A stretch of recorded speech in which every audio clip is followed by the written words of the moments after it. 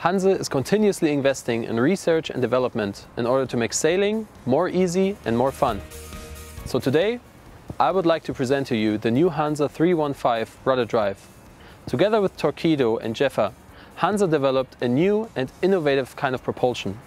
For us, real innovation means less components with better functionality.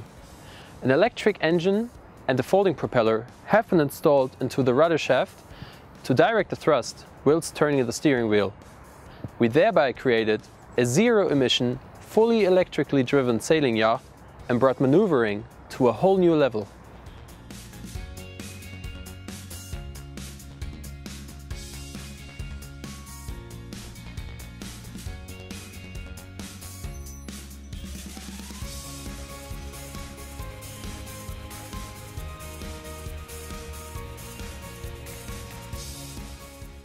The Hanse 315 rudder drive completely replaces the diesel engine, meaning 100 kg less weight, no noise, no diesel smell, no sail drive and no maintenance.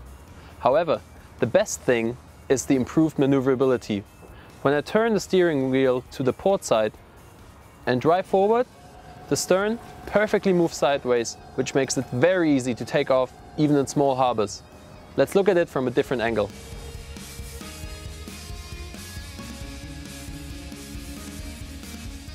The electric engine of the Hanse 315 rudder drive is controlled via the top-mounted throttle. The throttle thereby immediately reacts to any movement I make.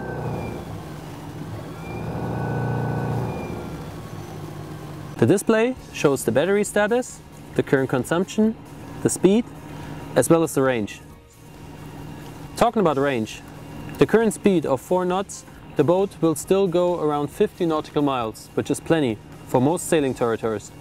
The comfortable Torqeedo app brings all that information onto your mobile device and gives you also really nice visuals which show you the remaining range. However, the real cherry on the cake about the new Hanse 315 rudder drive is really the silence, which not only improves communication on board, but also helps you to relax after a long day at sea.